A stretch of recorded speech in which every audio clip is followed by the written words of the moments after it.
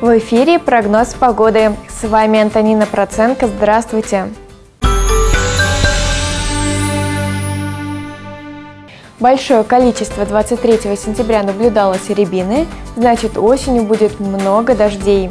Чуть позже я поделюсь своими знаниями об этом не, а пока о погоде в Туле области на ближайшие сутки.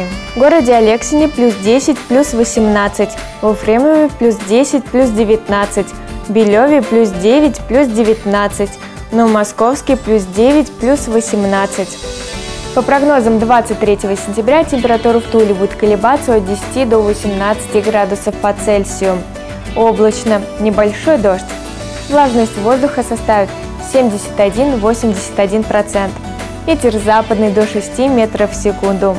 Возможно небольшие возмущения, следите за здоровьем.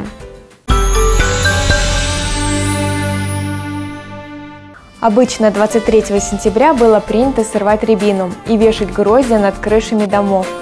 Согласно примете, это могло защититься от злых духов, спасти не только себя, но и своих домашних животных.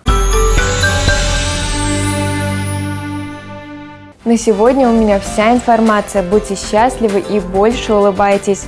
С вами была Антонина Проценко. Увидимся с вами завтра в это же время.